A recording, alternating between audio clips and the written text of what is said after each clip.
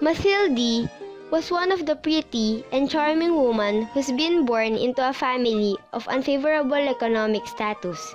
She has no dowry, no fancy jewels or clothing, yet these are the only things she lives for.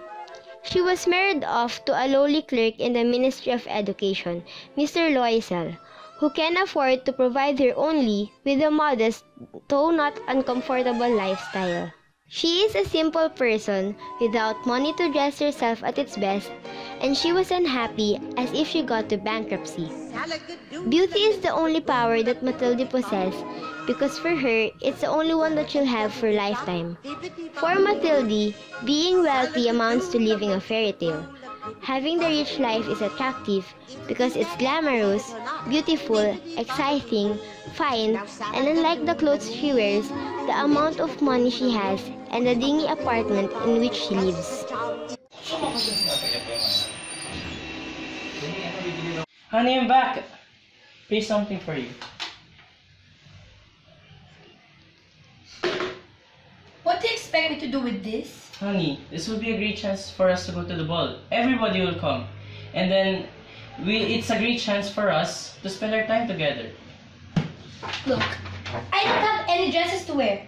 For sure they have beautiful ones. I don't want to embarrass myself with this kind of clothes. Honey, I already have my appointment to the tailor and she made the dress just for you. What about jewelries? I don't have any jewelries. Honey already asked Miss Forrester, so she, you can borrow some jewelries if jewelries for her. And she's rich. She's very, very rich. Yes, that's great. What didn't I think about that? I'll go to her and ask her if I can borrow her jewelries. The next day, she went to her friend's house, Madame Forrester, and asked if she can lend her some jewelries that she may wear for the ball. Jewelry? Sure, my dear. Here, in this box. I can. I have jewelry that you can borrow. Whoa. These are so beautiful.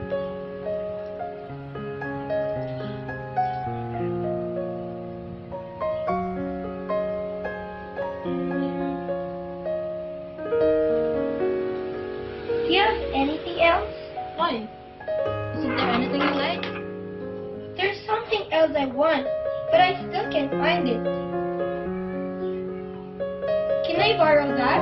This? No, the one that you're wearing.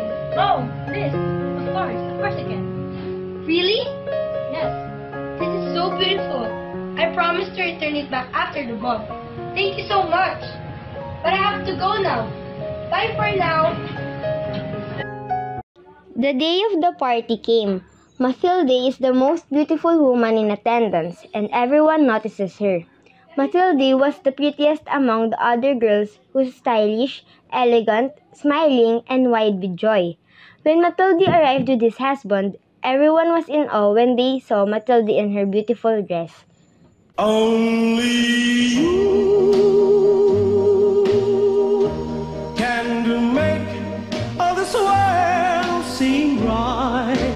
Mathilde continued talking to everybody and met new people. That day, she felt that she was the richest girl in town.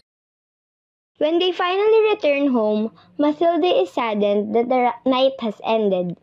As she looks herself in the long day. mirror, she discovers that her necklace is no It was the longer around I've her neck. had. And I feel like I'm much prettier now. Wait.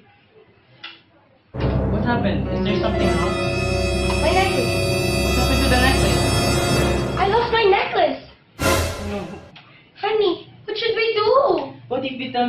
Mrs. Foster that it was broken and we'll fix it? So we can have more time to find an alternative solution. I'm scared. No, it's okay, honey. We should tell that it's broken so we can have more time. Okay. After a week, Monsieur Loisel says they have to see about replacing it. They visit many jewelers, search for a similar necklace, and finally find one. It costs 40,000 francs, although the jeweler says he will give it to them for 36,000. Mathilde then returned to Forester's house and took back the similar you. necklace that they bought. You should have returned it sooner. I must have did it. Uh, yeah. I'm sorry. Next time, I'll return it soon. That's alright, I understand. Bye! The Loisels began to live a life of crippling poverty. They dismissed their servant and moved into an even smaller apartment. Monsieur Loisel works three jobs, and Mathilde spends all her time doing the heavy housework. This misery lasts 10 years, but at the end, they have repaid their financial debts. Matilda's extraordinary beauty is now gone. She looks just like the other women of pure households. They are both tired and irrevocably damaged from these years of hardship. One Sunday, while she is out for a walk, Oh, Matilda hello, spots Madame How are you? Forrester. Feeling emotional, she approaches her and offers greetings. Uh, no, it's me, Matilda. Oh, my poor Matilda. you've changed so much. Well, yes, and it's all because of you. Me? I didn't do anything to you. I lost something that you own. Something that I own? Yes. Your necklace. My necklace? But you returned it back to me. I bought exactly a necklace like that. So you bought a necklace to replace mine? Yes. Oh, my poor Mathilde. It is my fault. Haven't I told you? That jewelry is only for costume. It doesn't cost anything.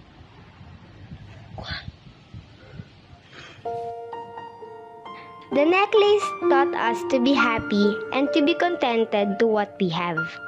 In this story, Mathilde was in medium class, but she was unhappy and not satisfied to what we had. She tried to have a things that it's hard to get. At the end, she doesn't only stay bitter in that state of life, but she continued living the life of poverty and spent all of her life suffering for her dream.